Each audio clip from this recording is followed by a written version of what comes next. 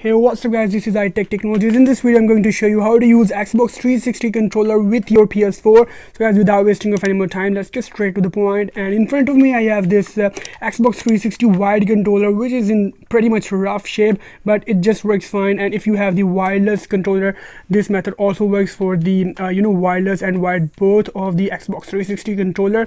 So guys to use Xbox 360 controller with your PS4 you just need to buy this adapter from the Wingman converter and uh, link in the description of Amazon you can directly buy it. And that's how this adapter looks like. Uh, in the bottom we have the USB port and we also have the uh, you know LED light and the button as well. So guys you simply just need to connect the controller with the adapter like this. And now guys you just need to uh, connect this adapter with your PS4 like this.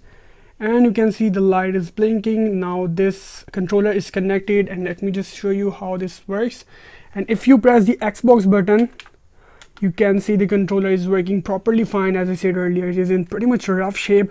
But guys you can see this controller works perfectly fine. You might see some uh, mapping related issues other than that. I didn't see any you know lag or input lag or input delay. This controller works perfectly fine with the you know ps4 guys i hope this short to the point tutorial is helpful for you. If you learn anything new i recommend you to subscribe this channel. That's it for today. Hope you guys see my next video. Till then goodbye